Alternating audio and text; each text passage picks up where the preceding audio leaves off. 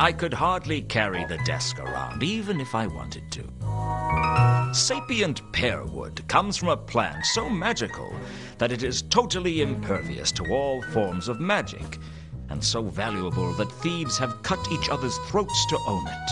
Unfortunately, I couldn't afford a desk made out of it, so I made do with pine. It's a nice desk, though. Nothing like a cup of imp-made coffee to make me jittery and paranoid.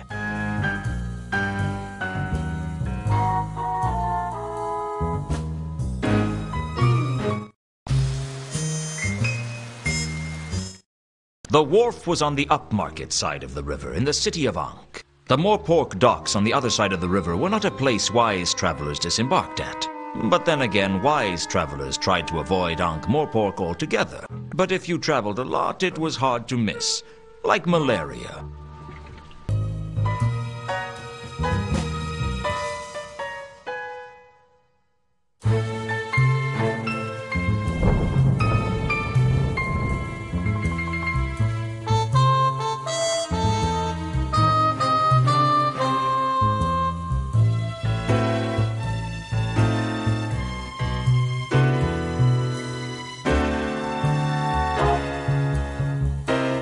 A lot of strange things had happened to me since becoming a private investigator.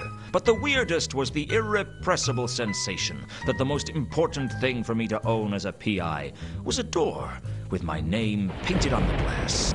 Some mysteries are best left unsolved, I guess.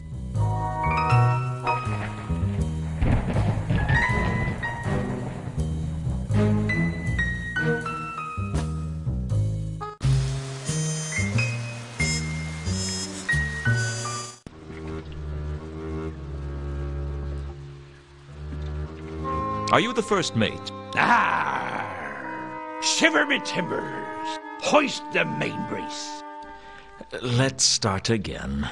Are you the first mate? Hoy! That I be! You're not going to get any money off me, so you can drop the fake accent. Sorry, you know how it is. Some people are stupid enough to fall for that sort of thing. What can I do for you?